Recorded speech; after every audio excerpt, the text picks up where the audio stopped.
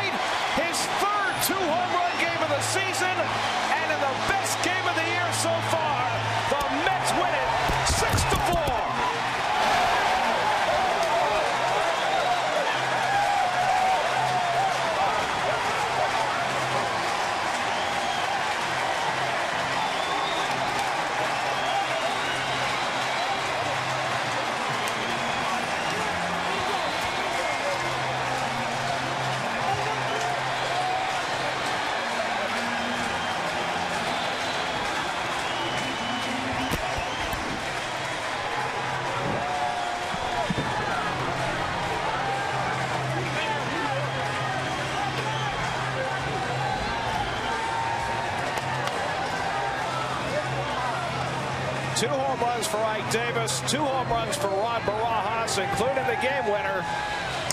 Second time in the last three games that Barajas has provided a ninth inning home run to win a ball game, and the Mets take the opener from the Giants. Well, what a game tonight. And a game that would have been known as the Ike Davis game has turned into the Rod Barajas game. Hanging slider from Sergio Romo. Citi Field is supposed to hold this ball. Not anymore. Not with Barajas with his ninth home run on this young season. How about that? Another game winner. It's a lot of fight in these Mets, I'll tell you. And it can't be lost on Rod Barajas that Bengie Molina was in the building tonight. The guy the Mets supposedly were going to sign. They got Barajas instead.